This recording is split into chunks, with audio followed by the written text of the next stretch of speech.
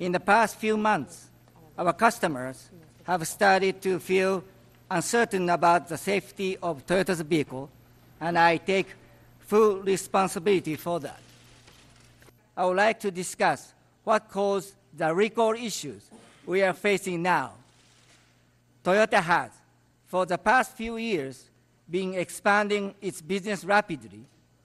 Quite frankly, I fear the pace at which we have grown may have been too quick.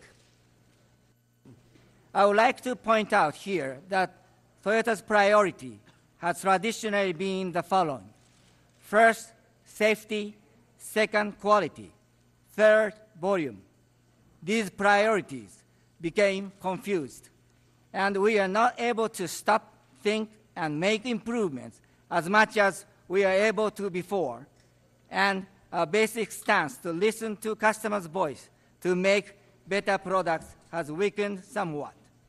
We pursued growth over the speed at which we are able to develop our people and our organization, and we should sincerely be mindful of that.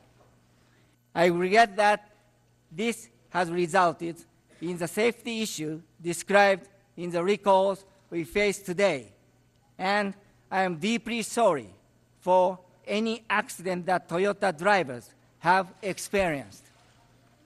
Especially, I would like to extend my condolences to the members of the Saylor family for the accident in San Diego.